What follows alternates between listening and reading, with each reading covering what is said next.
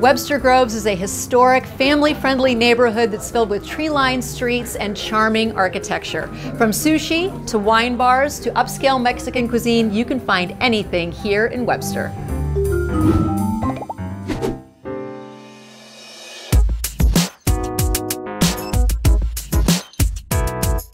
You know, Webster's just a cool neighborhood. Great restaurants, lots of just cool boutique stores, and, and, it's definitely a neighborhood where you can just come park and, and bounce around from restaurant to restaurant. There's areas to explore within Webster. You can go to a park or trails. Of course, good eating and drinking and shopping.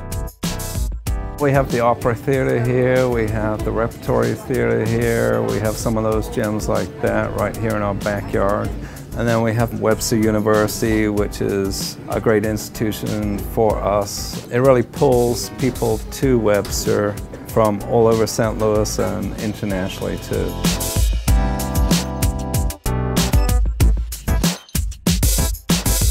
I can't say enough good things about this community and, and how they support not just our business, but every local business here in Webster. For me, Webster very, very wonderful community. They support the neighbor, they support the business. I would not be able to open the restaurant without their support. To know the people is to know the place. So Webster Groves, people are very friendly and open and warm. I think it's easy for out-of-towners maybe to connect with people from Webster Groves. I treat customer as a friend. So if you come here often enough, I will remember your food, what you like, and I remember your name, and you open the door, we treat you as a family.